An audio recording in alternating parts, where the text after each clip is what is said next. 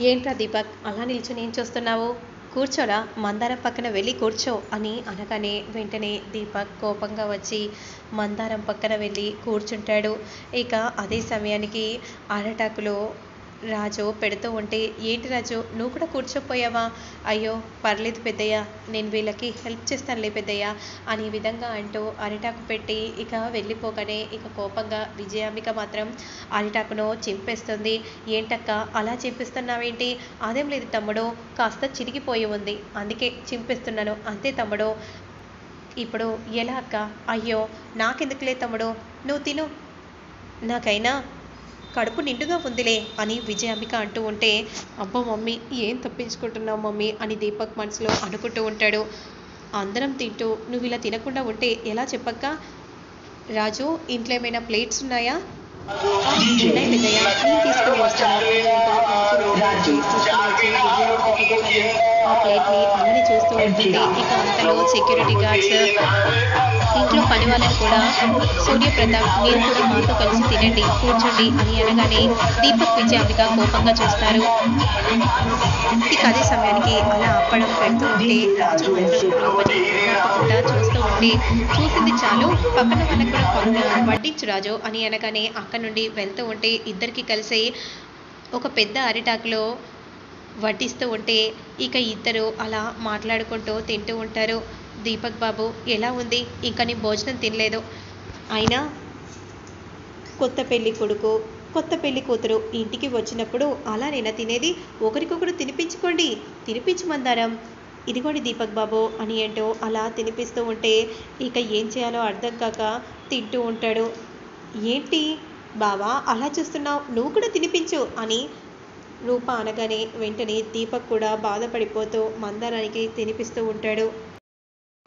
ఇక కట్ చేస్తే నెక్స్ట్ సీన్లో హ్యాండ్ వాష్ కోసం విజయాంబిక బయటికి వస్తుంది. ఏంటమ్మా అసలు ఈ న్యూసెస్ని చూడలేకపోతున్నాను. ఇదంతా నీ వల్లేరా? బురదపై రాసి రాయి వేస్తే అది తిరిగి మన మీద పడుతుందని తెలియదారా అని కోపంగా అంటూ అక్క నుండి వెళ్తూ ఉంటే ఎలా మమ్మీ? ఇక మనం వెంటనే ఇక్కడ నుండి వెళ్ళాలి మమ్మీ అని దీపక్ అంటూ ఉంటే ఏరా తమ్ముడు ఇక మనం వెళ్దాం పదా? సరే మేము వెళ్ళొస్తాము. అది కాదు పెద్దయ్య రెండు రోజులు మా కూతుర్ని కూడా ఈ ఇంట్లో ఉంటే ఒక రెండు రోజులైనా మా కూతురికి సేవలు చేసుకోవాలని అనుకుంటున్నాం. ఏంటి? మీ కూతుర్న? రెండు రోజులు కాదు రెండు నెలలైనా ఉంచుకోండి. అభ్యంతరమే లేదు. అంటే కూతురితో పాటు అల్లుడు గారు కూడా ఉండాలి కదమ్మా అని దీపక్ వాళ్ళ అమ్మ అనగానే ఏంటి? నా కొడుక? నా కొడుకు ఇక్కడ ఉండలేడు. అయినా నన్ను వదిలి నా కొడుకు ఉండడు. ఈ ఇంట్లో ఎలా ఉంటాడు? ఈ బస్తీలో ఉండలేడు తమ్ముడు అనే విధంగా విజయాంబిక అంటూ ఉంటుంది. ఇల్లరికమైతే ఉండమని అడగట్లేదు కదా. రెండు రోజులు మాత్రమే ఉండమని అడుగుతున్నారు. అది వాళ్ళ ధర్మం. ఏంటండి కాఫీ అన్నారు. తర్వాత భోజనం అన్నారు. ఇప్పుడు ఉండమంటున్నారేంటి?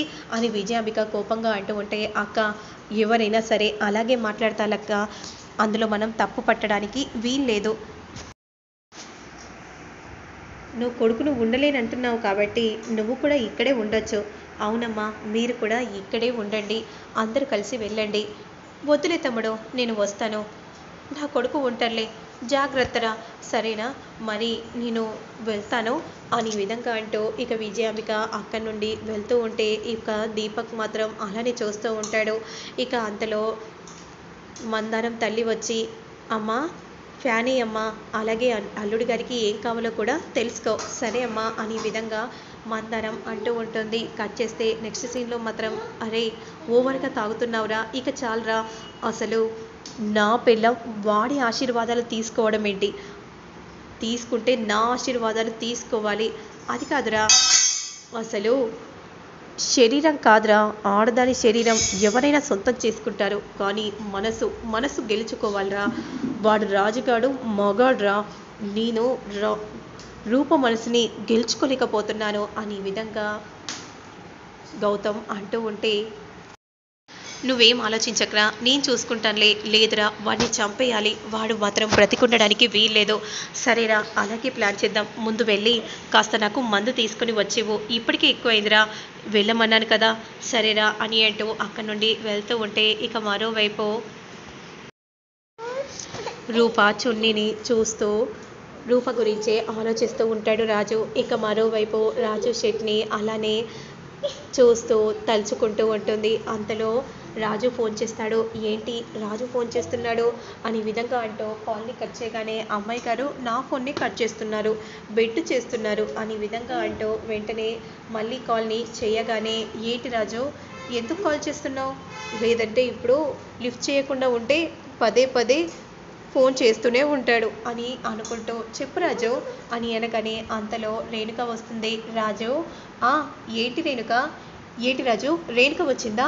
ఆ అవునమ్మాయి గారు అని విధంగా అంటూ ఉంటే అంతలో రాజు రాజు నీకోసం నేను నాటుకోడి పులుసు తీసుకుని వచ్చాను. అంతలో మనసులో రాజు మాత్రం రేణుక వచ్చిందంటే అమ్మాయి గారు ఫ్రస్ట్రేట్ అవుతున్నారు. మీరు నన్ను ఆడుకున్నారు కదా ఇప్పుడు నేను మిమ్మల్ని ఆడుకుంటాను అని మనసులో రాజు అనుకుంటూ అవునా రేణుక నాటికోడి పులుసు అంటే నాకు బాగా ఇష్టమని నీకు తెలుసు కదా అందుకే తీసుకుని వచ్చుంటావు అని అంటూ రేణుక చేయిని తాకగానే రేణుక చాలా సంతోషపడిపోతూ ఉంటుంది. ఏమైంది రాజు నీ చెయ్యికి అంటే నా చెయ్యికి చిన్న గాయమైంది అని రాజు చెప్పగానే ఏంటి రాజు గాయమా అని రూప ఫోన్లో అంటూ ఉంటుంది. చిన్న గాయమే అని అనగానే సరే అయినా నేను తినలేను కదా అవును రాజు నీకు ప్రేమగా తెచ్చాను. అయితే నీ చేతులతో తినిపించు అని అనగానే ఏంటి రాజు ఇది కలనా నిజమా? ఇప్పుడు తీసుకొని వస్తాను. లెగ్ పీస్ కూడా వేయడం మర్చిపోకు రేణుక అని అనగానే ఇదంతా నా కలన భ్రమణ నా అసలు నాకే నమ్మబుద్ధి కావట్లేదు అని రేణుక ఎంతో సంతోషంగా అనుకుంటూ రాజు దగ్గరికి వస్తుంది. ఇక రూప మాత్రం కోపంగా రాజు ముందు రేణుక తెచ్చింది మాత్రం నువ్వు తినడానికి వీల్లేదు. తనని పంపిస్తావా లేదా? నీకే చెప్పేది రాజు అని రేణుక అంటూ ఉంటుంది. ఏదో కాస్త దూరం పెట్టగానే రేణుకకు దగ్గర అవుతున్నాడా? అని రూప మనసులో అనుకొని కాల్ని కట్ చేస్తుంది. ఇదిగో రాజు తిను రాజు. నువ్వు తినాలి రేణుక అని విధంగా అంటూ వెంటనే అలా తినిపించబోతూ ఉంటే వెళ్ళు నువ్వు తినాలి అని అనగానే రేణుక అక్కడి నుండి వెళ్తూ ఉంటుంది. మరోవైపు ఏంటి రాజు ఇదేంటి? ఇదేదో ఆల్బంలో ఉంది. రూప ఇచ్చింది కదా? అవును చిన్నమ్మ అంతలో రూప కూడా క్రిందికి వస్తుంది. ఇది నేను గురుదక్షిణ కింద రాజుకి ఇచ్చాను కదా ఎందుకు తీసుకుని వచ్చాడు? అవును రాజు గురుదక్షిణ కింద రూపాయి ఇస్తే ఎందుకు తీసుకుని వచ్చావు?